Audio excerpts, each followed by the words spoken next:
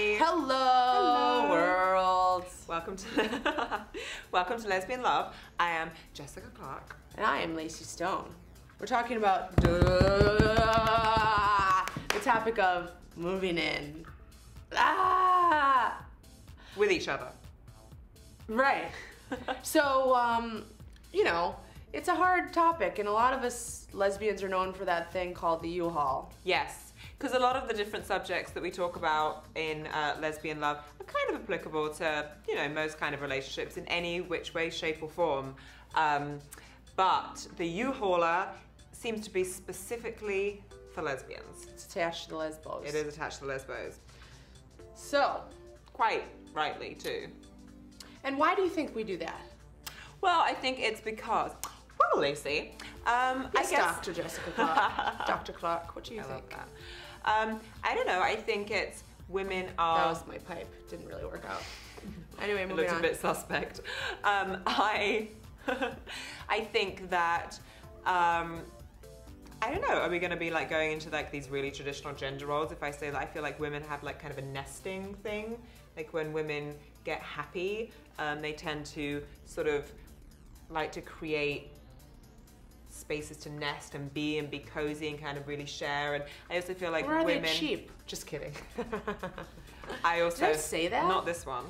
Um, I also think that women, women in general, and then obviously two women in a relationship, you get to a, you can get to a very deep, very great level of intimacy relatively quickly. So there's that, there's that real fascination with each other, and there's that real kind of need and want and an urge to kind of share and experience each other as much as possible.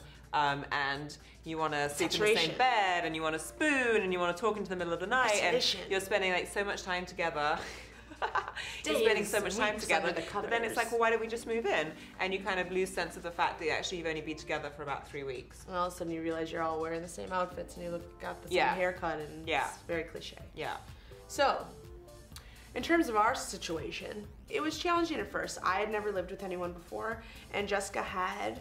And, you know, when you move in, for me, if I, I had never moved in with anyone before, so uh, when I moved in with her, I was like, um, uh, this is really important. This means something to me. Like, Right. this is a huge step for me. I, it, well, I, I'm not a U-Haul or I've never done that before.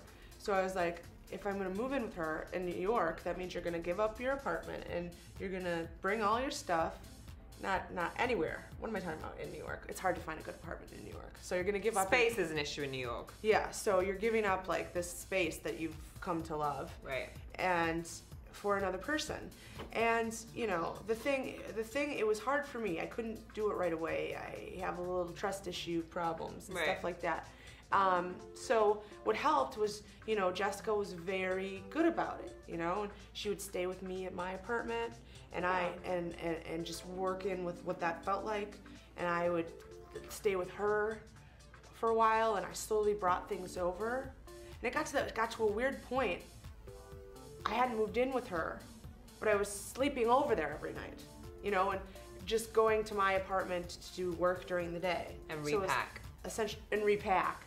Essentially, it got to be annoying. Um, and I think that was We, good. and we were pretty lucky in that we live relatively close to each other. pack but it was like going time. backwards and forwards, backwards and forwards. And I think the issue, so and I, she has the nicer digs, you know what I mean? I wasn't particularly, um, out. I did too. Oh, that's very nice. It's true. Um, so I wasn't worried so much about the feeling of being like, well, this is it, you know, kind of moving, like if, if I start living with this woman, and particularly as you'd never lived with anyone before, and it was really very significant that I you, love, yeah. Right, that you were emotionally, that you were, mom and dad. that you were romantically involved with. Um, the fact that that kind of signified a real deep kind of commitment wasn't what scared me.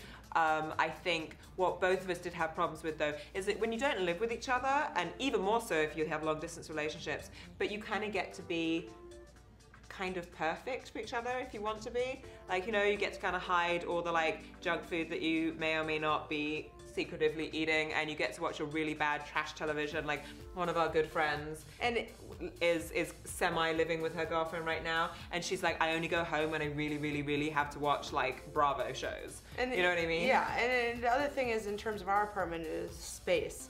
there's no stairs and there was no doors, so there was no no. It's a big loft type of a space, and I was worried about feeling a little claustrophobic. You know what I mean?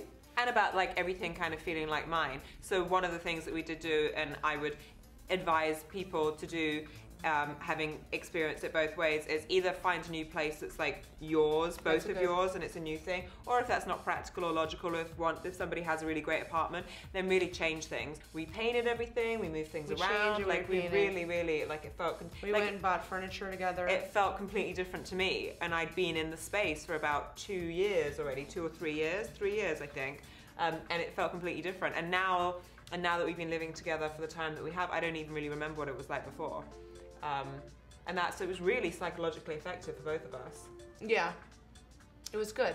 You know, so moving in, uh, just to go back to the points. Uh, wait so do, do we think that the what do we think about you hauling in general it, like we didn't do I think it, it'll always be a part of our lesbian history. it's Um, an abrasive thing i guess it's, always going to happen You know, and you know, I don't know if it's meant in a mean way. It's kind of funny. I wish that the U-Haul relationships were a little more successful. They don't tend to end well. you think you think that that tends to be They don't tend to end well. It's like I'm gonna have babies with, you know, Sally, and we're gonna move in and live happily ever after. Let me tell you something. That's the movies. There is no real happily ever after. It's every second of every day. You have to make every moment matter, and that is our ever after right now. That's called Lacey backtracking because she put her foot in it right there. but it was very smoothly done, so I'll let her have the point. You know what I'm saying? I'm just saying, like, it, it's not gonna be all rose petal, you know. No, and, and I think you're I think definitely the arguing, the conflicts change because people have different ideas of what clean and tidy is and different ideas of what organization is, and that's really difficult to start compromising time. on. It takes time. It's going to happen. Um, it can be scary, like. But it's also forces you to grow in your relationship because you know what? If you have a fight, no one gets to storm off home. And you can't be perfect anymore because uh, trying to be perfect for the other person gets exhausting too. Right. Then you start hate being per- hating being perfect, and you want And to meet somebody blaming- and you else start blaming to the be other perfect person. with. Just show her that you kind of are a dork. But okay? yes, show. well, show I'm a dork. Maybe you're not a dork. She's I'm a total dorky. dork, You're, yeah. you're more of a nerd. I'm more of a dork. but don't let it go too far. You know what I mean? Like keep some like boundaries. Don't overshare. Like it's great that we're intimate. It's great that we're all girls. Like whether you want to shave your legs in front of each Keep other mystery. or not is awesome. Maybe you don't shave your legs. I don't know. mystery. But some mystery is good. It's good. Whatever your boundaries are and however you want to have mystery is your bag. But some mystery is good. Because ultimately, however much they are your best friend, however much you share your life with them each other, you do still want to remember that they are hot and sexy, and hopefully you want them to remember that you are hot and sexy too. Because otherwise you're over it and then you want to move out. That's no fun. It's a lot of pressure, ladies. So keep it fresh and exciting, and uh, take it slow. Keep it fresh. Keep it clean. keep take it slow. I think my advice to you is to take it slow. You know, go once, you know, move in slowly, and um, yeah, and and then live happily ever after. the end. Okay. If you have any comments, leave them. Uh, post them down there, down, down there, and uh, we look forward Go to uh, talking to you next time. Bye. Bye.